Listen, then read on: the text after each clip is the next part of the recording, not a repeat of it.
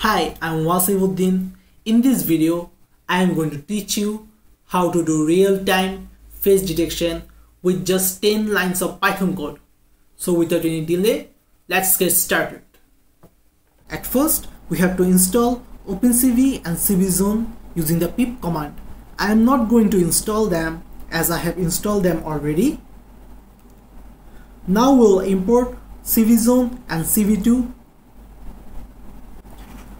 then we'll create a video capture object named cap using cv2.videoCapture to take the feed from our webcam.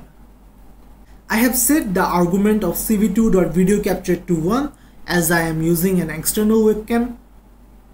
Next, we have to create a face detector object using cvzone.faceDetector. I will name it detector.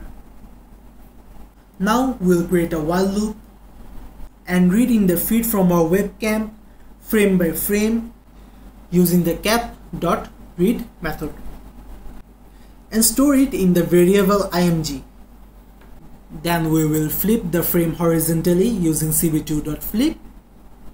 Now we will do face detection on each frame by passing the variable img in detector.findFaces and we will store the output in img variable.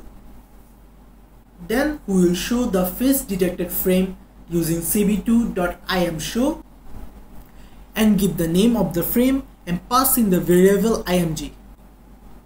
At last, we set cv2.waitKey equals to 1 to show the continuous feed of our webcam.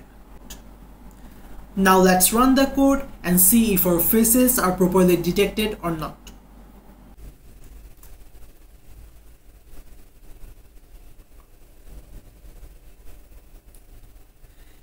You can see how my face is being spontaneously detected without any source of delay or lag no matter how fast I move my face around here and there.